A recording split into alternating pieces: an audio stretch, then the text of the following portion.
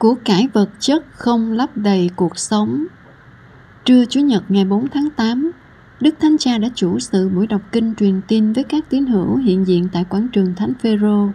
Trước khi đọc kinh, Đức Thánh Cha đã có bài huấn dụ ngắn dựa trên đoạn tin mừng Chủ nhật 18 thường niên.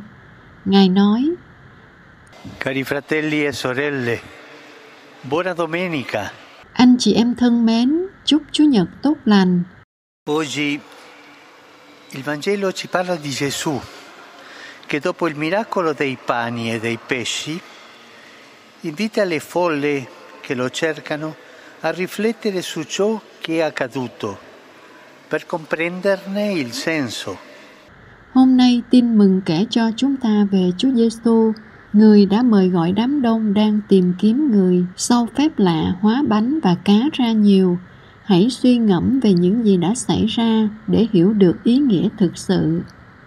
Đám đông đã ăn một bữa ăn được chia sẻ và đã chứng kiến việc làm thế nào với một ít tài nguyên bằng sự quảng đại và can đảm của một cậu bé, khi cậu chia sẻ những gì mình có cho người khác, mọi người đã được ăn no nê dấu hiệu thật rõ ràng, nếu mỗi người cho người khác những gì họ có, với sự trợ giúp của thiên chúa thì dù ít, tất cả mọi người cũng có thể có được thứ gì đó.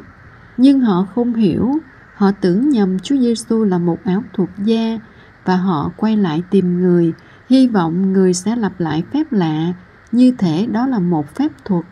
Họ là những nhân vật chính của một kinh nghiệm trên bước đường của họ, nhưng họ không hiểu được ý nghĩa, sự chú ý của họ tập trung vào bánh và cá và lương thực vật chất điều này kết thúc ngay lập tức. Họ không nhận ra rằng đây chỉ là một phương tiện.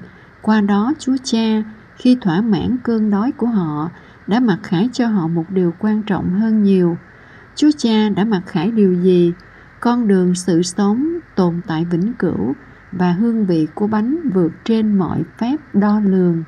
Tóm lại, bánh đích thực là Chúa Giêsu là con yêu dấu đã làm người, đấng đã đến chia sẻ sự nghèo khó của chúng ta để hướng dẫn chúng ta đến niềm vui hiệp thông trọn vẹn với Thiên Chúa và với anh chị em chúng ta.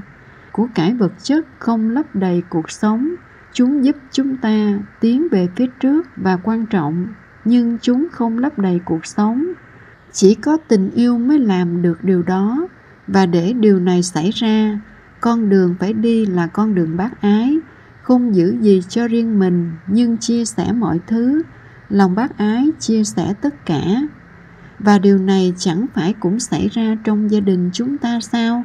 Chúng ta đều thấy. Chúng ta hãy nghĩ đến những bậc cha mẹ. Phải vất vả cả đời để nuôi dạy con cái và để lại cho chúng một điều gì đó cho tương lai. Thật đẹp biết bao khi thông điệp này được hiểu và con cái biết ơn cha mẹ và đến lượt họ, họ sẽ giúp đỡ nhau như anh chị em. Tuy nhiên thật đáng buồn khi họ tranh giành quyền thừa kế. Tôi đã thấy nhiều trường hợp thật đáng buồn. Họ tranh giành nhau, cũng chẳng nói với nhau qua nhiều năm chỉ vì tiền.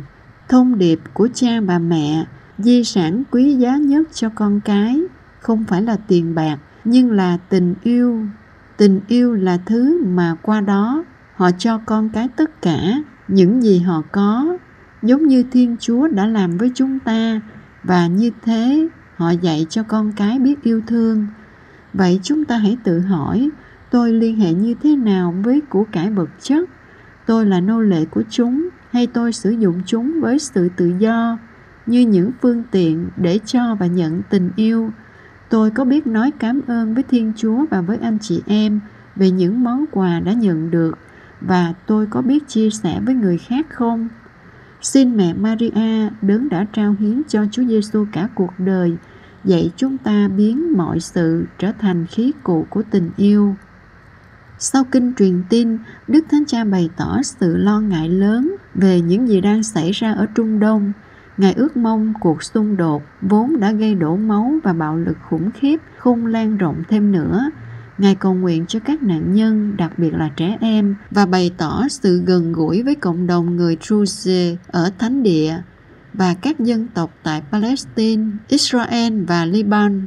Ngài kêu gọi đối thoại để đạt được lệnh ngừng bắn ở giải Gaza và tất cả các biên giới, giải phóng con tin và tạo thuận lợi cho trợ giúp nhân đạo. Đức Thánh Cha cũng bày tỏ sự quan tâm về tình hình ở Venezuela sau cuộc bầu cử. Ngài kêu gọi các bên tìm kiếm sự thật và hành động đúng mực, tránh bạo lực và giải quyết vấn đề bằng đối thoại, đặc biệt thành tâm tìm kiếm phúc lợi cho dân tộc, chứ không phải lợi ích riêng.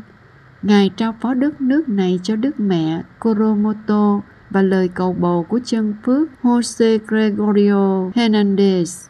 Hôm nay cũng là lễ nhớ Thánh Gioan Vianney, bổn mạng các cha sở. Đức Thánh Cha bày tỏ sự gần gũi và sự biết ơn đến tất cả các cha sở với lòng nhiệt thành và quảng đại và cả nhiều đau khổ đã mang lên mình lời Chúa và dân Chúa. Đức Thánh Cha cũng mời gọi mọi người chúc mừng các cha sở.